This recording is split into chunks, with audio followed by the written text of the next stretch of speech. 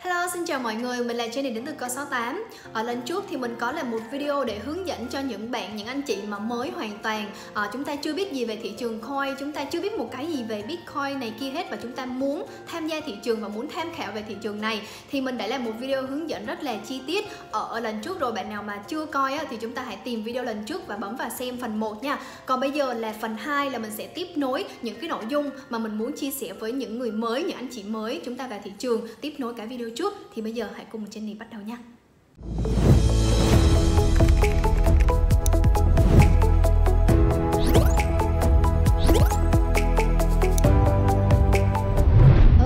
Rồi, vậy thì ở video lần trước thì Jenny đã cùng các bạn đi mua USDT rồi, đúng không? Mình đã biết cách mua USDT. Vậy thì câu hỏi đặt ra ở đây đó là nếu như mà các bạn đang xem video này, các bạn có một lượng USDT ở trong ví Binance của mình, thì mình sẽ làm gì tiếp theo? Mình sẽ đi mua những cái đồng coin nào? Bởi vì các bạn đã biết ở video trước rồi, đó là thị trường tiền mã hóa không chỉ có Bitcoin mà còn hàng ngàn những đồng coin khác. Ở đây các bạn lên Binance này, các bạn thấy 100 một, rất là nhiều đồng coin đang được niêm yết với USDT các bạn hoàn toàn có thể dùng USDT của mình mua ADA mua Bit, mua Doge, mua Coin98 mua DOT, mua Sol. Hay là các bạn lên CoinGecko các bạn tìm hiểu những đồng top ở trên này nè. Các bạn hoàn toàn có thể mua Doge, mua Solana, mua Uniswap, mua Chainlink. Vậy thì những cái yếu tố nào sẽ quyết định cho các bạn là mình nên uh, mua những cái đồng coin nào phù hợp với mình thì giờ mình sẽ chỉ cho các bạn một số cái cách mà chúng ta có thể đọc và đánh giá uh, cũng như là quyết định đầu tư xem mình nên đầu tư những loại nào ha.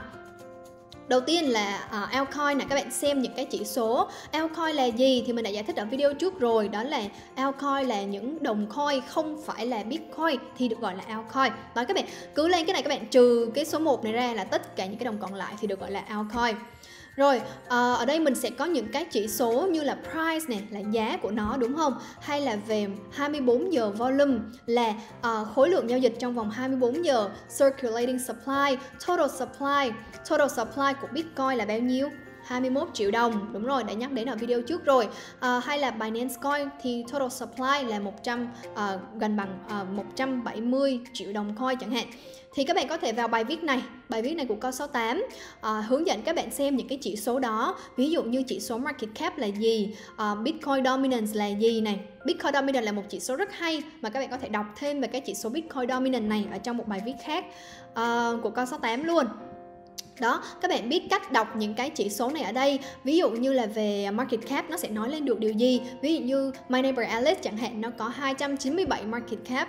À, 297 market cap nó sẽ nói lên được điều gì nè? Và những con có market cap càng to thì nó có ngon hơn những con mà có market cap thấp hơn hay không? Đó ví dụ như thế. Các bạn tìm hiểu những cái chỉ số này các bạn học đó các bạn học các bạn tìm hiểu thông tin các bạn tự đọc nha. Đó thì khi mà các bạn uh, uh, quyết định trước khi mà quyết định đầu tư cho một đồng coin nào đó các bạn nên biết những cái chỉ số xoay quanh nó.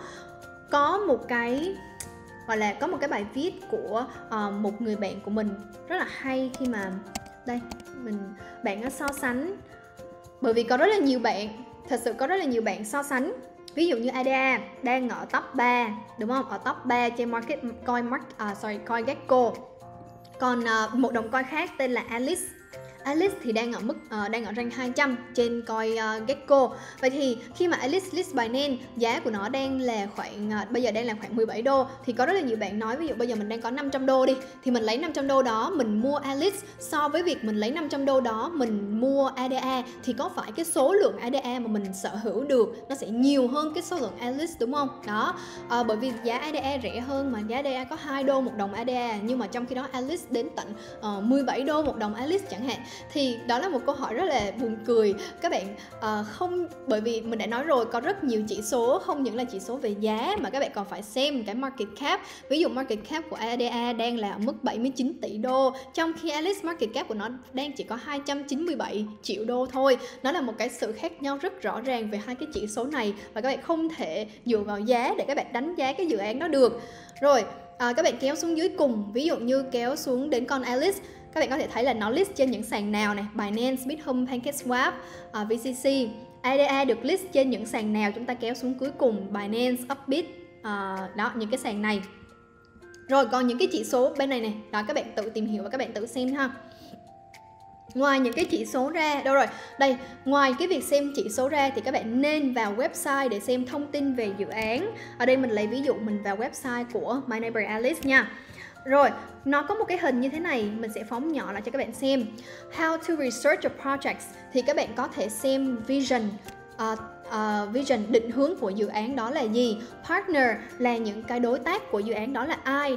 Team team của dự án đó có nhiều kinh nghiệm hay không gồm có những ai.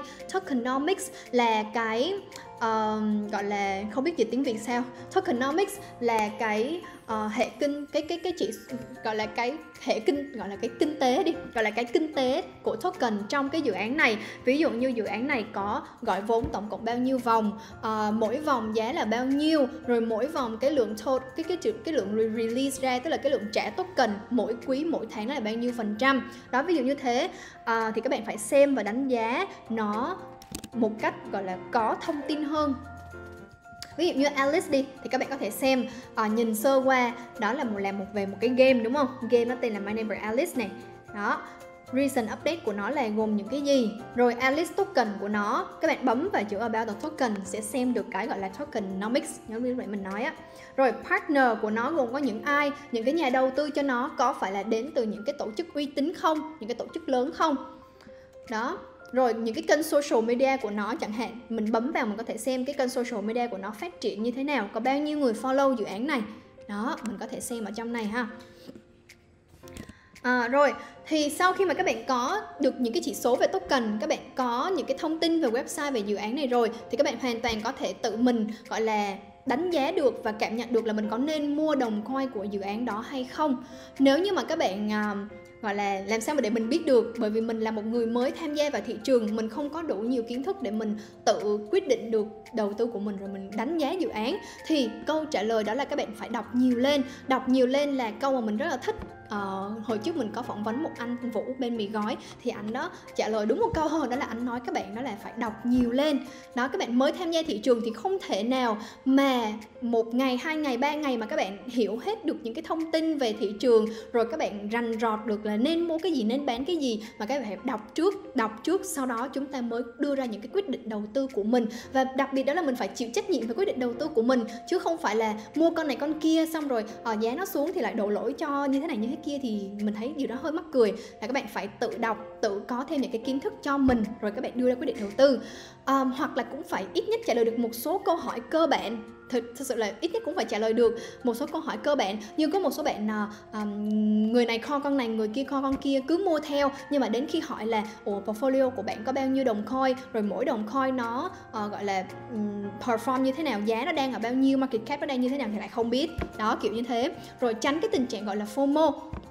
FOMO là gì? FOMO là gì? FOMO là fear. Đâu rồi? Fear of missing out là hội chứng sợ bỏ lỡ một cái gì đó. Các bạn thấy nó có một cái cụm từ mà giới crypto hay dùng rất là nhiều đó là lên thuyền á. Kiểu sợ bỏ lỡ chuyến tàu này chuyến thuyền kia. Ví dụ như uh, uh, giá của cọ, giá của một đồng coin đang rất là tốt thì uh, đang rất là tốt để mua vào đi thì các bạn uh, bị FOMO tức là các bạn phải nhảy lên thuyền tức là các bạn mua cái đồng coin đó bởi vì các bạn sợ bị miss tức là sợ bị bỏ lỡ cơ hội mình mua đồng coin đó với một mức giá rất là tốt. Thì đó được gọi là là FOMO là các bạn. Sợ bị bỏ lỡ cơ hội á kiểu như thế. À, rồi ngoài ra thì một lời khuyên của mình cho các bạn đó là những bạn nào mới á, thì chúng ta nên có một người gọi là mentor người chỉ dẫn mình hướng dẫn mình đúng không? Thì các bạn có thể tham gia và tham khảo những cái kênh Facebook, Telegram, YouTube của những cộng đồng lớn và uy tín tại Việt Nam. Ở đây YouTube và Facebook thì là quá quen thuộc rồi. Những bạn nào mà chưa biết đến Telegram thì chúng ta nên lập một cái tài khoản ha. Download Telegram về lập một cái tài khoản Telegram và chúng ta join vào những cái cộng đồng của những người mà uh, có uy tín có kinh nghiệm trên thị trường thì họ sẽ hướng dẫn và họ sẽ đồng hành cùng với các bạn và cùng với cộng đồng của họ những người khác nữa. Chứ mình gọi là you're not alone mình không có một mình đâu à, ở đây mình đã list ra một số cái cộng đồng. À, các bạn có thể tham khảo trong này ha. Mình không mình mình không đảm bảo 100% hoặc là mình cũng không khẳng định tất cả những cái cộng đồng trong này đều là những cộng đồng phải nói là cực kỳ nổi tiếng cực kỳ uy tín hay gì hết. Mà cái này mình hỏi một số bạn ở trong team và mình cũng làm một cái survey nhỏ uh, cho cộng đồng là những cái ờ, ờ, uh, uh, KOL nào những cái cộng đồng nào mà các bạn uh, tin tưởng thì mọi người đã list ra cho mình một số cái cộng đồng ở trong đây. Chứ không có nghĩa là những cộng đồng trong đây là những cộng đồng duy nhất uh, gọi là nổi tiếng hay là uy tín gì hết. Mà cái này theo cái trải nghiệm cá nhân của những bạn đã làm khảo sát. Thì à, mọi người có suggest những cộng đồng như là GFS, Coi 98, Coi 68, uh, Trayco Việt Nam, Trayco Underground, mì gói HC vân vân. Các bạn có thể xem trong cái list này. Và mình đã hyperlink ra cái contact của họ. Các bạn có thể join group ở đây. Uh, Coi 68 tụi mình thì có cộng đồng của Kairos Ventures là một quỹ đầu tư. Uh, quỹ đầu tư thì các bạn có thể thấy đây trong My Neighbor Alice thì đây logo của Kairos Ventures cũng ở đó hay là uh, tụi mình có kênh trading dành cho những bạn mà thích trade thích giao dịch phân tích kỹ thuật uh, gaming dành cho những bạn nào thích uh, tìm hiểu về NFT, game, play to earn và FOMO Sapiens dành cho những bạn nào mà thích uh, nói về crypto nói chung, về DeFi, về những cái technical, công nghệ vân vân thì bạn có thể vào FOMO Sapiens. À, về tin tức thì các bạn có thể follow kênh của con số 8 blog tiền ảo và biên Crypto. Thì tin tức này là một phần mình nghĩ cực cực kỳ và là rất quan trọng luôn để các bạn um, quyết một trong những yếu tố quyết định sự đầu tư của các bạn vào một đồng coin nào đó. Tức là các bạn phải follow tin tức của đồng coin đó. Và follow tin tức thị trường nói chung luôn chứ không phải là của đồng coin đó nữa. Nè các bạn có thể lên ờ, uh, con68.com tụi mình đã cập nhật những cái tin tức mới nhất uh, những bài hướng dẫn ở trong đây. Cả mọi thứ ha. Ok, và kênh YouTube thì các bạn có thể tham khảo YouTube ở trên này. À, rồi, quản lý portfolio hiệu quả là như thế nào? À, bởi vì mình thấy một cái tình trạng đó là đây, một cái tình trạng đâu rồi? Đây ở trong ví này ví dụ như ví của mình thì bởi vì mình đang hướng dẫn cho những bạn mới cho nên là mình chỉ cầm USDT thôi. Nhưng còn những bạn khác ví dụ như chúng ta chỉ có 100 đô thôi chẳng hạn. Nhưng mà cái portfolio tức portfolio là cái danh mục đầu tư của các bạn có đến 10 đồng coin hoặc là 20 đồng coin. Và mỗi đồng coin thì các bạn mua uh, khối lượng là 10 đô 12 đô 13 đô ví dụ như thế. Thì uh, nói sao ta? Kiểu như là các bạn phải quản lý danh mục đầu tư của các bạn xem là chúng ta nên sở hữu thật nhiều đồng coin hay là chúng ta chỉ nên sở hữu một đến 2 đồng coin hay là từ 5 đến à, 6 đồng coin ví dụ như thế thôi. Thì các bạn có thể xem uh, vì cái tình trạng đó cho nên là mình suggest cho các bạn hai bài viết rất là hiệu quả. À, và bây giờ thì mình cũng đang quản lý vốn theo lời khuyên của hai bài viết này luôn. Thì mình sẽ chia sẻ cho các bạn ở trong này ha. Đó là hướng dẫn quản lý vốn kiếm tiền trong thị trường lúc mà downtrend hay là trong thị trường lúc mà uptrend. Đây tại sao cần phải quản lý vốn rồi quản lý vốn bằng cách nào? Một số nguyên tắc khi chúng ta trade coin là gì? Rồi cái portfolio của mình ví dụ mình có 100 đô 500 đô thì mình nên chia ra mình nên sở hữu bao nhiêu đồng coin và à, mỗi đồng coin thì mình nên có những cái target nào? Rồi à, đấy như thế nào? Các bạn coi bài viết trong này rất là hay. Đây là một trong những bài viết mình rất là thích và mình cảm thấy rất là có ích cho bản thân mình. Đây các bạn tìm coi ở dưới link mình sẽ để link bên dưới nha. Ngoài ra thì à, đây này các bạn vào à, co 68 các bạn có thể à, bấm vào chủ đề chuyên sâu. Chủ đề chuyên sâu mình đã phân ra thành những chủ đề khác nhau các bạn có thể tìm đọc. Rồi À, bây giờ mình sẽ nói qua sơ sơ qua một chút về cái nhìn tổng quan về thị trường tiền điện tử. Nãy giờ thì um, qua hai cái video thì chúng ta đã đi qua là uh, Bitcoin, altcoin rồi cách mua bán những cái thứ gọi là rất là cơ bản luôn mà nói thật sự rất là cơ bản mà mình nghĩ là các bạn nên biết trước khi mà các bạn tham gia vào những cái uh, khía cạnh khác của thị trường này nữa. Thì những cái khía cạnh khác đó là gì? Thì các bạn nên có một cái nhìn tổng quan về thị trường tiền điện tử dành cho những bạn mới. Đó là thị trường tiền điện tử nó không nó nó nó không chỉ đơn giản là uh, có những loại coin này rồi có bitcoin rồi có giá như thế này lên xuống này kia mà nó còn chia ra thành rất rất nhiều những cái những cái area những cái field những cái gọi là lĩnh vực những cái lĩnh vực khác nhau. Mình lấy ví dụ như một cái lĩnh vực là DeFi thôi nha là Decentralized Finance là tài chính phi tập trung. Tài chính phi tập trung nó sẽ chia nhỏ ra tiếp.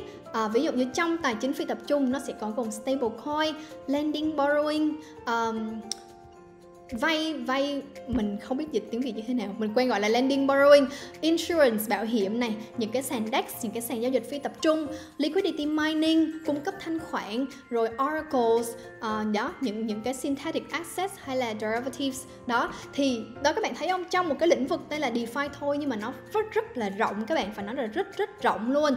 Um, và nếu như mà các bạn muốn tìm hiểu về DeFi thì mình suggest một cái khóa học tên là DeFi 101 uh, ờ, lưu ý là cái này không phải quảng cáo hay gì hết cái này đến từ trải nghiệm cá nhân của mình bởi vì mình đã học khóa này rồi. À, đây mình đã học khóa này rồi. Đây thì mình kiểu mình học xong rồi mình cứ take note những cái kiến thức mà mình đã học vào trong một cái đây mình đã học xong khóa DeFi 101 và mình nhận ra được có rất nhiều kiến thức hay và hữu ích. Mình đã take note vào hết. Thì mình nghĩ là uh, các bạn có thể mua khóa này ở trên KT City với giá là 2 triệu đồng và các bạn thử học xem cái này không quảng cáo mà mình đã học rồi mình đã trải nghiệm rồi mà mình suggest cho các bạn thôi ha À, về NFT gaming, về NFT gaming thì dạo gần đây các bạn nghe đến rất là nhiều những cái uh, sorry những những những cái dự án ví dụ như là về Axie Infinity đúng không? Thì về Axie Infinity đó cũng là uh, một trong những cái dự án về gaming thì um, tụi mình đã gọi là review rất là nhiều ở trên YouTube của Con68 TV rồi. Các bạn có thể lên đây để xem những cái video mình review về Axie và về những cái game khác trong NFT gaming. Các bạn có thể xem ha. Rồi hoặc là các bạn có thể tìm hiểu về hệ sinh thái. Có những hệ sinh thái như là Ethereum, Binance Smart Chain, Matic, Polkadot và Solana. Rồi, ở đây mình sẽ gắn link, mình sẽ gắn link cho từng hệ sinh thái. Các bạn có thể tìm hiểu và tìm đọc nhé các bạn thấy không? Thật sự là rất là rộng và có rất là nhiều những cái mảng khác nhau để mình tìm đọc và mình tìm hiểu về cái uh, gọi là cái cái cái thế giới crypto này. Hay là về phân tích kỹ thuật đi là về trading. Thì chúng ta là người mới bắt đầu. Chúng ta muốn học về giao dịch về những cái chỉ số phân tích kỹ thuật đọc chart đọc nến rồi dự đoán như thế nào thì mình có thể vào đây. Hoặc là uh, có một cái cộng đồng bên mình lúc nãy mình có nói rồi là 68 trading. Đây 68 trading. Các bạn có thể tham gia vào group này ha sẽ có những cái uh, sẽ có những admin để hướng dẫn các bạn hoặc là uh, có những video để hướng dẫn cho những người mới bắt đầu về trading. Đây. Thì các bạn có thể ờ, cái này là chưa hết nha vẫn còn chấm 3 chấm là còn rất nhiều những cái mảng khác. Cho nên là mình khuyên các bạn nên có một cái nhìn cọc tổng quan về thị trường tiền điện tử.